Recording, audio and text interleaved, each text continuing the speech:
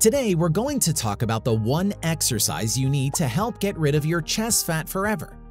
This is the one exercise you need to have an athletic chiseled chest. But before we get into that exercise, you must know that the first thing you need to do to get rid of chest fat, or any fat for that matter, is to improve your diet.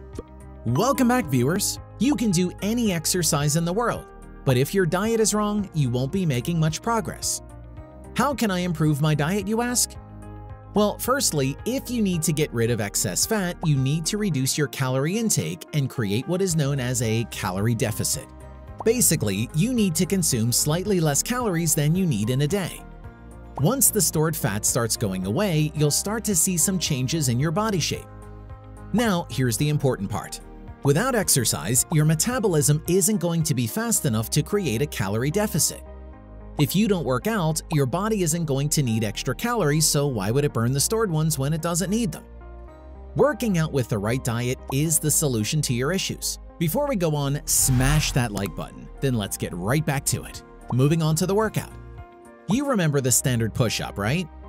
Well, to really burn your chest fat, we are going to level it up. Introducing the inclined push-up. Simple yet effective. The inclined push-up takes pressure off your arms and shoulders to give you a solid chest workout. It targets all your chest muscles and helps you lose chest fat at a hyper-accelerated rate. Place your hands slightly wider than shoulder width apart on a bed or a chair and plant your feet firmly on the floor. Remember to stand at an incline. Now bend your arms and lower your body until your chest touches the bench. Push your body back up to the starting position and repeat.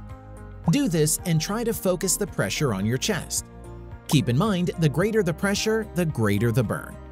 Build up your reps and increase their number as you feel more comfortable. After a few weeks, you'll start to see visible reduction in chest fat.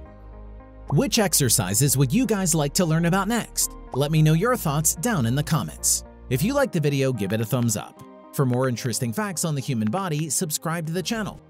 Here are two more videos you should check out, both of them will definitely help you reach your goals.